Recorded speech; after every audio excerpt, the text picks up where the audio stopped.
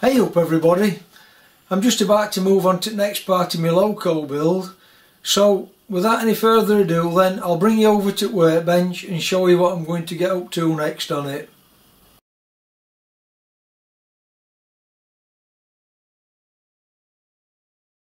I've got two of these vibrating levers to make and, and two bushes. I've got some material here, it says to make it from 3 16ths. This is actually a few thou bigger so I'll just take a skim off and that'll take the rust off it anyway by doing that.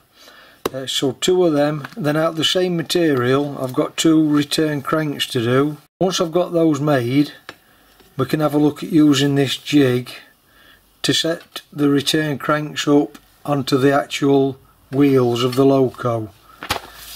Uh, using this diagram here.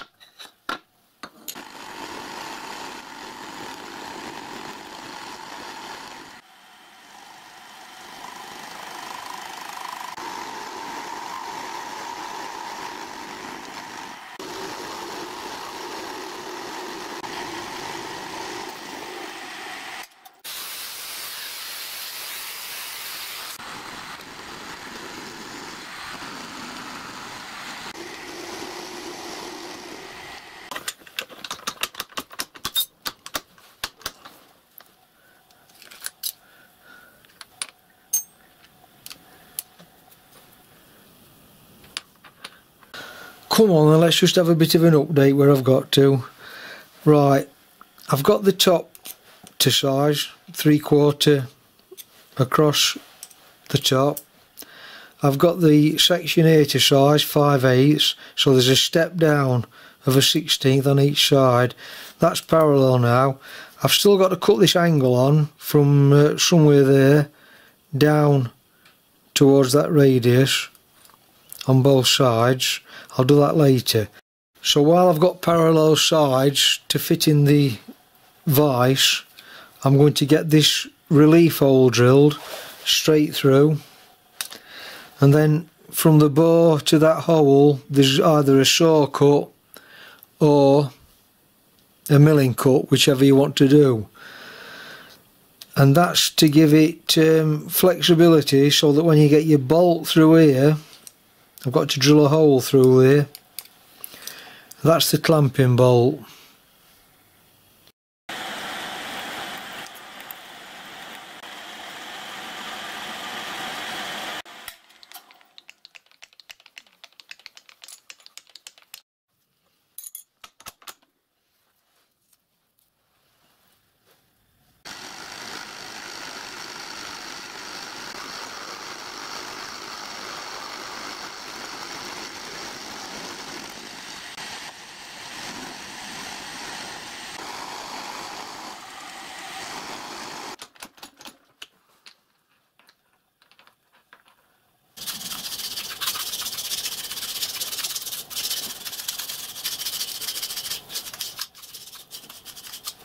don't really have to do any of this in milling machine, you can just do it in vice with your hand tools.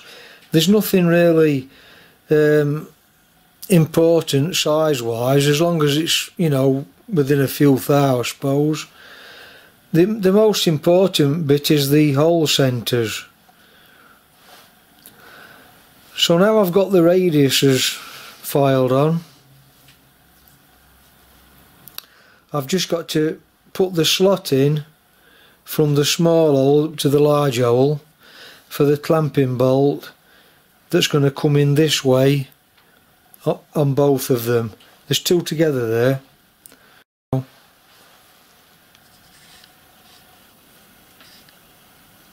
Right, shall we have, have a little bit of an update?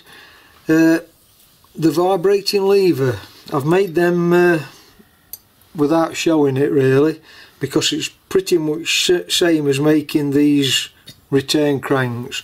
It's just a bit of uh, bench work with your file and your saw or if you've got a milling machine you can uh, you can do a milling machine. You have got to put a 30 second recess half inch wide across that middle hole. And then also I've made these two phosphor bronze bushes they're going to press into the vibrating lever on one end. So what I'm going to do now then I'm going to I'm going to just blackadize these before I put these bushes in. Uh, and then we'll have a look at this return crank jig and setting the return crank onto the actual wheels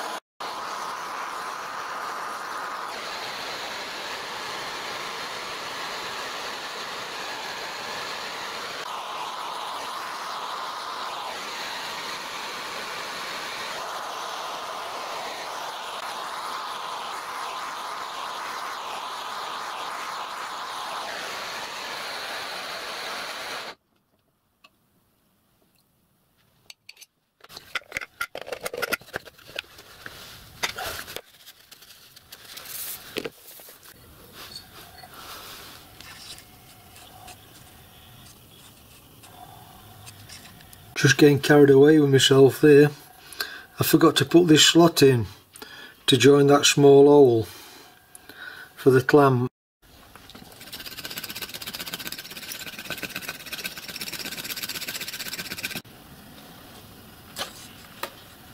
also just off camera then I've made these pins uh, to this drawing. Two crank pins straightforward turning.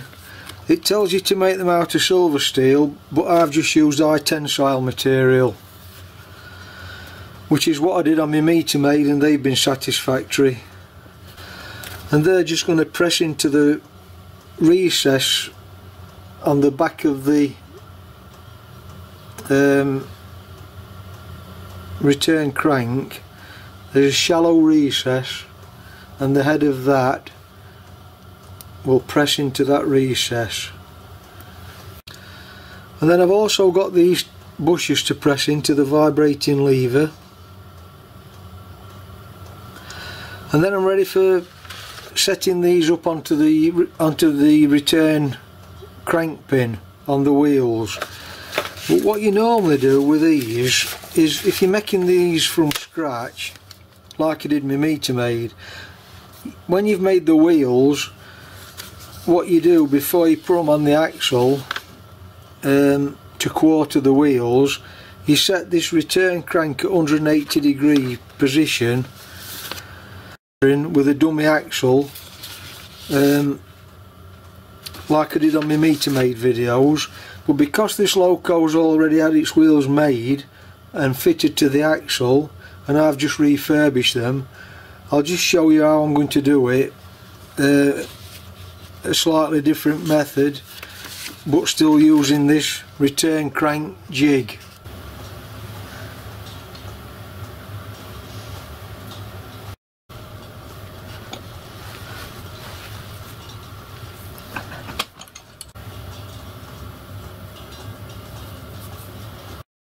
On the vibrating lever the bush head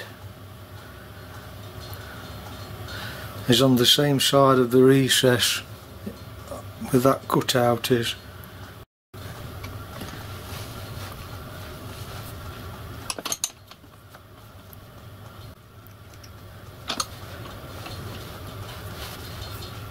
Let me see if I can squeeze you in here. Right. Normally then using this jig when the wheels not attached to the axle when you when you're in process of making this uh, you put a dummy axle in. Uh, this is with the crank pin fitted. You put your dummy axle in and then you put this middle part of the jig rests on the axle on the bottom of the axle then your crank pin rests on this uh, step and then the centre line of your crank lines up with that step. So because I because these wheels are already on um, what I've done then I've set my scribing block to the exact well within a couple of thou anyway to the exact line where the wheel is at the bottom.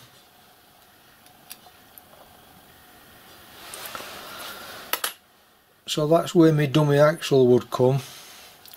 Then using some shimming material you've got to set your jig.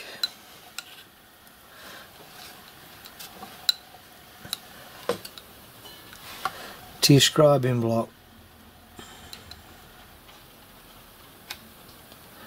on the middle portion where it would rest on the axle.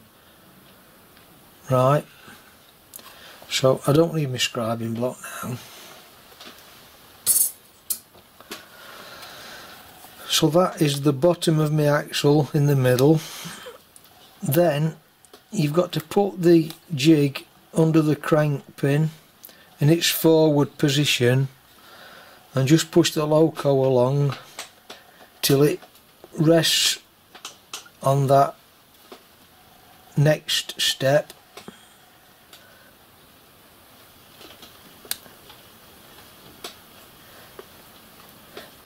So that's the bottom of the axle. That's the bottom of the crank pin. And then you draw a centre line down the centre of the return crank continue it on the end and then you line the centre portion onto this next bigger step. That way you've got exactly uh, 180 degree orientation. Then because the wheels are quartered they're 90 degrees out of phase. So on the other side you do the exact same thing but obviously the 90 degrees out. Once I get this clamped up I can then drill uh, for a pin a Selloc pin or a roll pin straight through the axle once I know my position